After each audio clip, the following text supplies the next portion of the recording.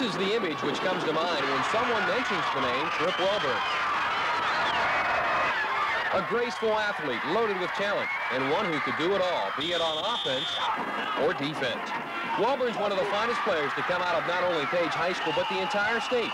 He's going to Michigan to play for Bo and the Wolverines. That should tell you something.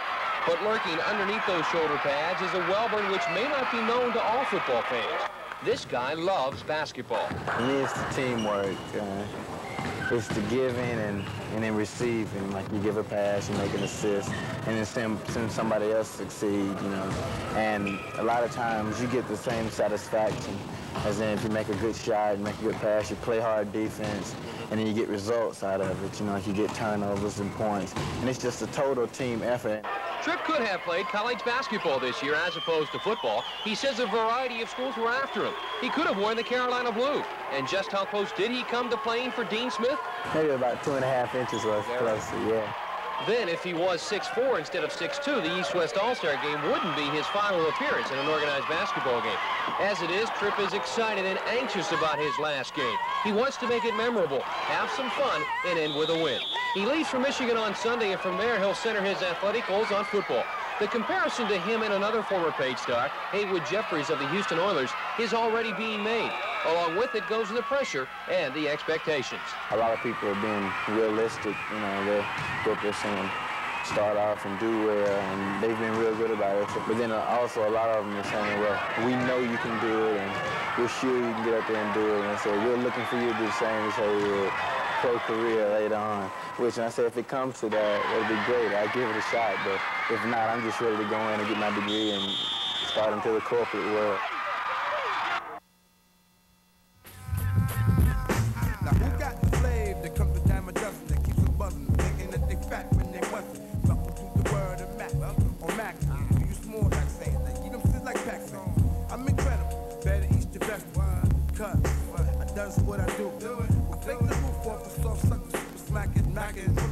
Mic check,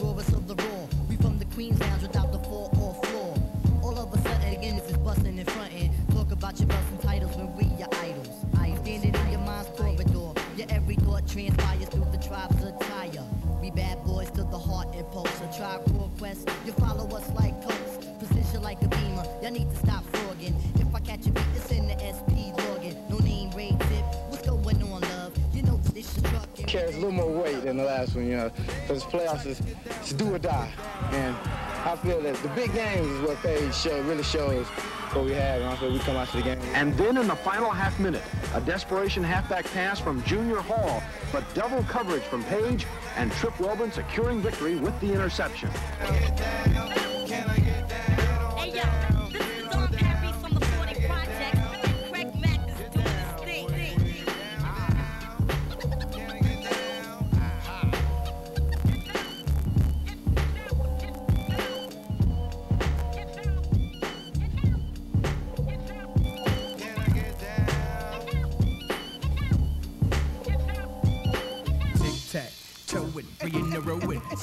Relax, and listen to a pro as I start going, blowing, flowing, showing, and moving MC. That I'm the capital H E O I decent. This is my yard, and better yet, my precinct. No discontent because I'm all about pleasing.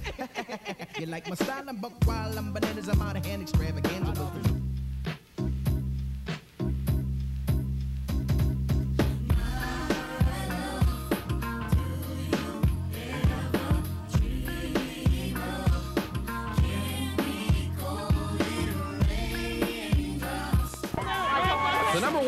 State looks to remain undefeated, but must do so without the play of All-Stater Tripp Welborne. The key to the Pirate offense is out for the second week in a row due to a thumb injury, and his absence is felt early.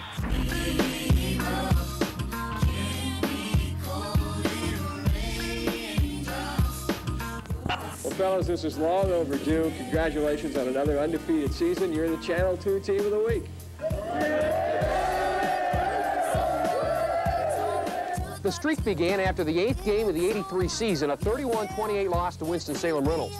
Three years later, Kirby's still a little hot about that one, a game he believes Page should have won.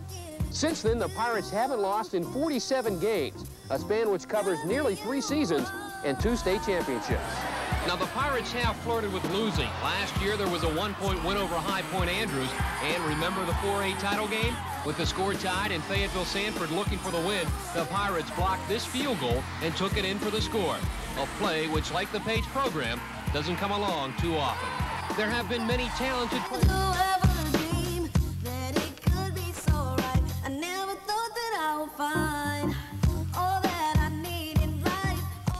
Coach, uh, the players change year in, year out. They do a really good job, and they work together just to give us the best possible chance we can of winning. And once all, all they can do is put us in a position to win, and then it's our job to do it. And they do a very good job of it. They keep us in position to win, and we try to go out and fulfill that.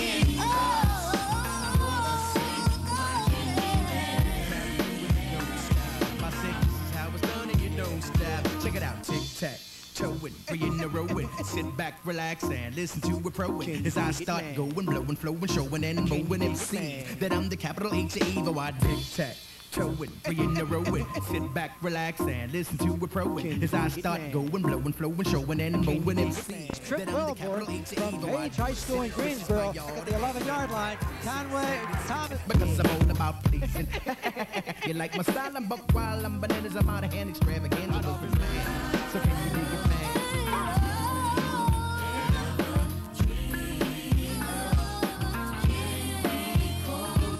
instructions, and let's see what South Carolina will do here. They'll keep it on the ground. It's Bolin. He's going to be hit at the two-yard line. Tripp Welborne from Page High School. He came blasting through to make the tackle. What a play. It's fired up this uh, North Carolina crowd. Look at that North Carolina team. What a...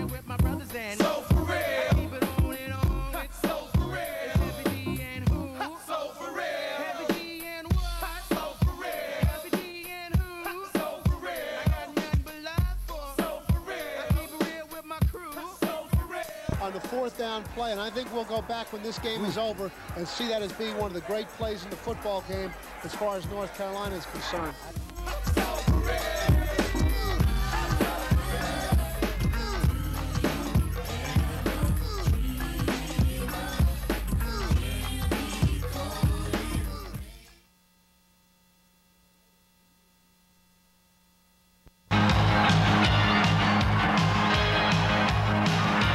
When Tripp Welborne came to Michigan, he started his career as a wide receiver, and as a true freshman, he saw action. But as a sophomore, this promising wideout was switched to defense. He's been a mainstay in the secondary ever since. As a matter of fact, he's an All-American as a safety, but he won't take the credit. Individual success is an overflow from the team success. That's way I always see it. So I like if you go out and you play hard and you help the team to win, you do things to ask for the team to win, and uh, you know if things come your way, then it's good because uh, it's basically showing that your team has accomplished a whole lot.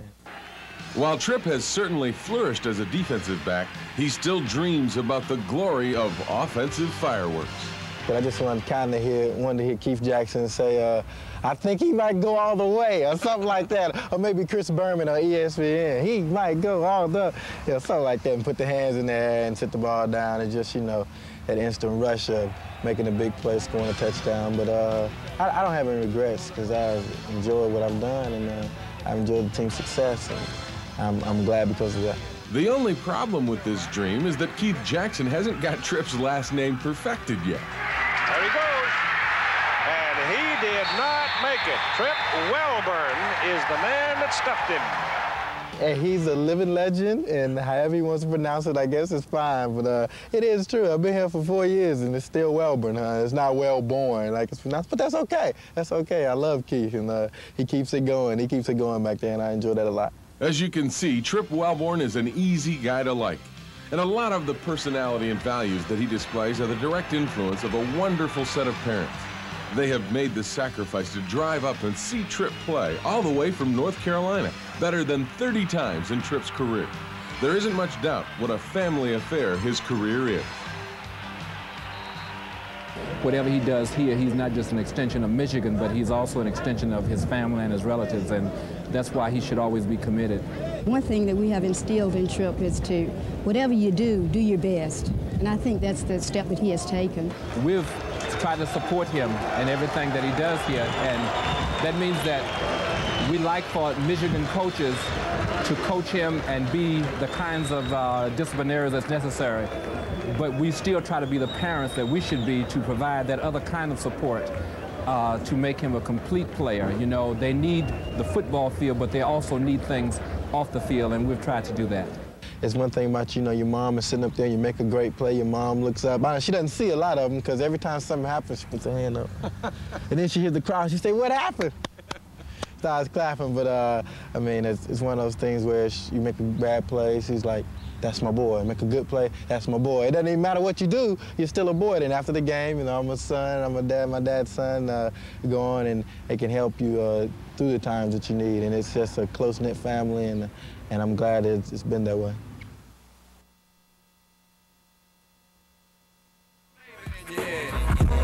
For new flavor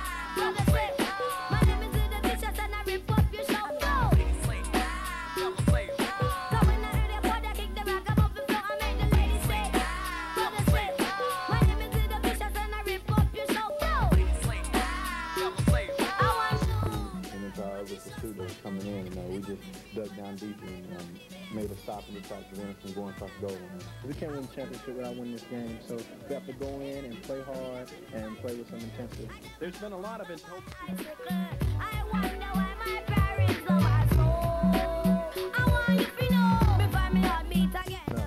No. Well, this is my chance. I better take it now because it was closing fast. Uh, I was a little tired, a little windy. You know what Bo Schembechler said about you yesterday? He said you are an excellent athlete, a great athlete. Uh, Bo said that. Ah, that's, that, that, that's, that's pretty good. Tripp Welborne his home at Strong Safety. Another versatile athlete, Welborne nearly played baseball at Michigan, but decided to concentrate on football and now is an integral part of a Wolverine program that became the first Division 1A school to win over 700 games. Fight joins Mark Carrier and Tripp Welborne in the All-American secondary.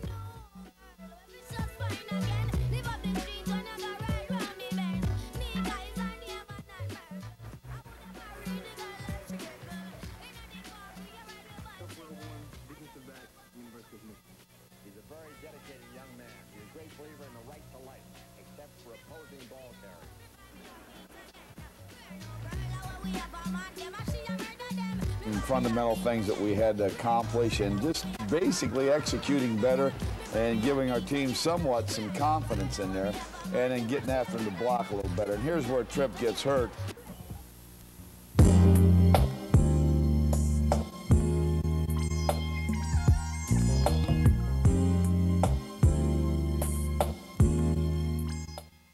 and a fun kid to see him uh, injured in the game against Minnesota. The extent of the injury at this point, Coach. Well, Jim, well, we know one thing. He will not play, obviously, against Ohio State. And, uh, well, they'll re-examine the knee on Monday uh, uh, under arthroscopic surgery, so we'll have to see what happens. But I want to say one thing about Tripp.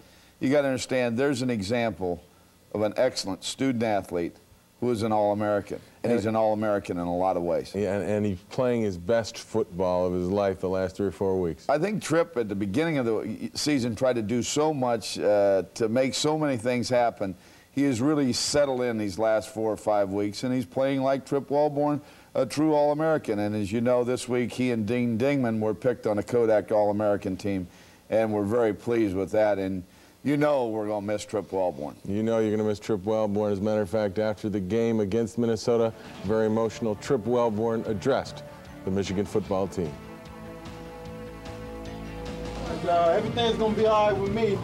But the only one thing I want you to win the last game, man. It's my last game, and uh, I want everybody to come through for me, all right? Now I'm not an emotional guy, y'all know this. y'all just gotta do it. Thanks for the day. Thanks for the day. One, two, you know what to do. Hail to the victors valiant. Hail to the conquering heroes. Hail, hail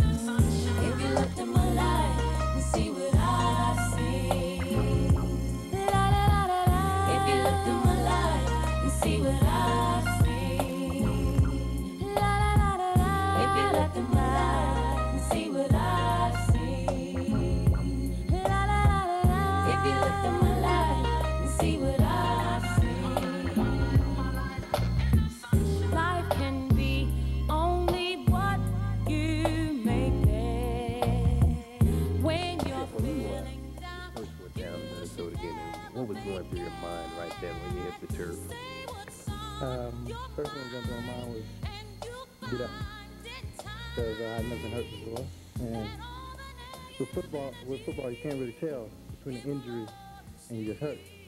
So uh, I tried to get up, and then when I couldn't, uh, got up and I started trying to walk. I couldn't do that. Then I felt as if I was letting down the team, and, um, my family, and things like that because I had never not been out there. So uh, it was a big shock, a big adjustment, but everything's coming along good now. Exactly did you do? I know you had a serious injury to your right knee, but what exactly did you do to? Um, I had some ligament damage, so to speak. You know, I'm not a, a doctor by no means. I'm just a rehabilitator, face, and uh, that sort of thing. But uh, I had um, extensive damage um, ligament-wise, and so now it's more, it's a point of rehabilitating and getting stronger, and that's what I'm doing right now. How much of this is physical and how much of it is mental? Which is the worst part? Uh, I think the worst part is the mental aspect. As you know, I mean, your body can do anything that your mind tells it to do. And uh, I know if you stay away from the, the potholes of depression, and, you know, all the sand traps, things of that nature, and you can stay yourself on the green as in you can keep a level head, you can go on and uh, you can accomplish all your dreams. And so I'm staying away from the depression stage because I'm an optimist, and so there's a lot of things to look forward to. A lot of people didn't have the chance to do the things I had to do, so I just uh, praise the Lord that I had the opportunity, and hopefully uh, I'll have many more opportunities. Right now, first things first, and that's primarily due to get myself back in the walking shape, because as you see, I'm tired now. How tough was it to miss those last two games, the Ohio State game and the uh, bowl game? um, that game, you know, going to words, uh, the Ohio State game was the toughest game I'd ever played in my life. I was more nervous for that game than I had been ever, simply due to the fact that no matter what happened, I couldn't do anything about it. And I was sitting at home, so I really could not even know what plays were being called.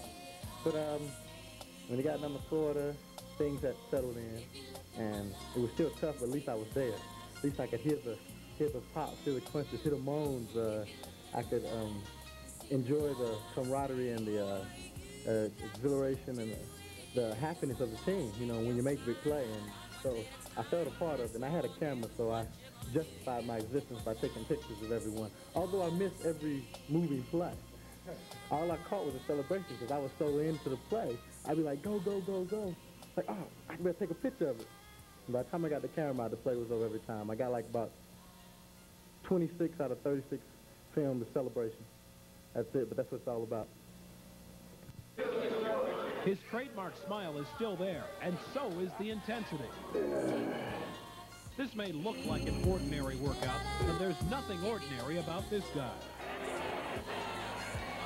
Tripp Welborne was one of the best defensive players ever to wear the maize in blue. He played safety like Willie Mays played center field, grabbing everything in sight. Welborne also had a knack for breaking punt returns, but his last run back ended his college career two games early. Yeah, when I started trying to walk, I couldn't do that. Then I felt as if I was letting down the team and uh, my family and things like that because I had never not been out there. The next step was surgery to repair extensive ligament damage. For the last month, this has been Tripp Welborne's second home. He spent up to four hours a day, six days a week here, rehabilitating his right knee. Uh, I think the worst part is the mental aspect. So I'm staying away from the depression stage because I'm an optimist. Very optimistic about playing in the NFL. We expect to make a full recovery, but I can't tell you if that's uh, eight months or 10 months or 12 months. He will not be playing football this fall. Last month, Tripp looked pretty dapper as he arrived to pick up Dodge's National College Football Defensive Player of the Year award. But now he's traded the Ducks for his lucky shirt. So I told myself I'll wear it until I'm back to the old form um, where I was unless it falls off first. In Ann Arbor, Bert Jock, TV2 Eyewitness Sports. I shall proceed and continue to rock the mic. I shall proceed and continue to rock the mic. I shall proceed and continue to rock the mic. I shall proceed and continue to rock the mic. Just think. What if you could just, just blink yourself away? Just think. What if you could just, just blink yourself away? Jeff X can rock the mic with tooth decay. I be the five foot seven, residing at the Mecca rest address in South Section. Used to cut class in the infinite pursuit of ass back in 86. With the chicks, I was a chocolate boy. Raised in the cellar with the rhythm like Ella. Walked the mega tribe streets to the subway where I lay till the train stopped and a nigga hop high. Used to do the pop dance to the planet rock at the block party. Everybody jock. Who me? It's the MC sucker niggas envy. I got my contract in 1993 and I shall proceed. Proceed and continue to rock the mic. I shall proceed going down, baby. Continue to rock the mic. I shall proceed and continue to rock the mic. Continue to rock the mic. I wake up early in the morning, I mean early afternoon. Break a lyrical him off the stem like boom. I'm flying when I dial, put this shit up on my tune. That nigga represented on the 28th of June. I'm representing Philly on the 28th of June. I can make you feel that I'm a surreal cartoon with my pistol in the face of hip hop. Sticking for bass because I'm on a paper chase. I'm on a paper chase, my Timberlands are fully laced. I be the Mr. Boogeyman. With records from 125th to Japan. I laid and play like Donny Hathaway and shake a hand, shake a hand. Your lady tried to kick you, but I couldn't play my man. My niggas is my niggas and she didn't understand. I shake your hand and shit and hit the fan. Just think, just think, what? What if you could just, just blink, what? Blink yourself away as I push Proceed and continue to rock the mic. Proceed and continue to rock the mic. Hi, my name is Tripp Welborne and I play slot back and free safety for the 1986 Page Pirates. Peer pressure is something that all young people have to deal with. It's all right to have fun, but remember, your life tomorrow is based upon your choices of today. It's your decision and it's okay to be different. Say no to drugs.